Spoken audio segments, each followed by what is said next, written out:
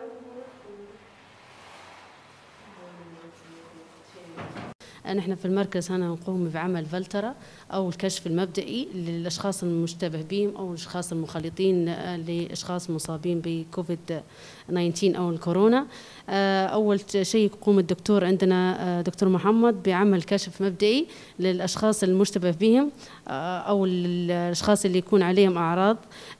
وبعدها الدكتور يقوم بإرسالهم لنا في المختبر. نحن ناخذ منهم عينات وندير لهم تحليل بتاع ال rapid test blood للكوفيد 19 آه، لو الشخص آه، طلع عندنا positive نقوم طبعا بتحويله إلى مركز آه، الرصد والاستجابة السريعة. جاله هي عمل مسحة غادي مسحة. أو إذا كان negative طبعا الدكتور يعطي يعطيه علاج ويقدر يتابع في الحالة.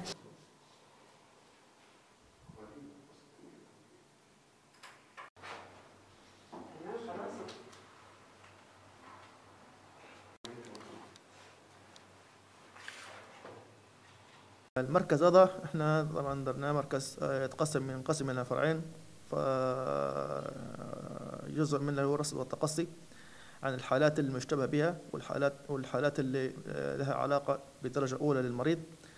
آه، نجمع البيانات عن الحالة وعن العائلة وعن الحالات القريبة لها والحالات المحتملة.